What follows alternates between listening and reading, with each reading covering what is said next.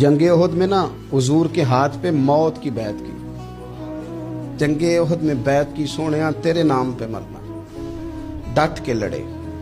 सलाफा बिन साद के दो बेटे बदर में कत्ल किए इन्होंने। एक कबीला गजील था, उन्होंने उहद के बाद हुजूर से कहा, कुछ कारी हमें दे दें, हमने कुरान सीखना है तो नबी पाक ने कुछ बंदे भेजे तो आसम बिन साबत को भी भेजा।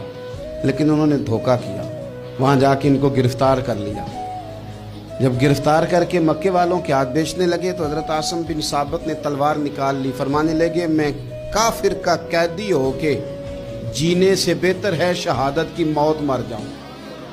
काफिरों का कैदी लड़े और फरमाने लगे, मेरे कमान में तीर बाकिया मैं लड़ूँगा और इतना लड़ूँगा कि तुम्हें पता चलेगा मुझे लड़ना आता है। और फरमाया, मैं सबर करूँगा और सबर करके दिखाऊँगा। मैं डटूँगा और तुम्हें डट के अकेला बंदा मैदान में डट गया अकेला।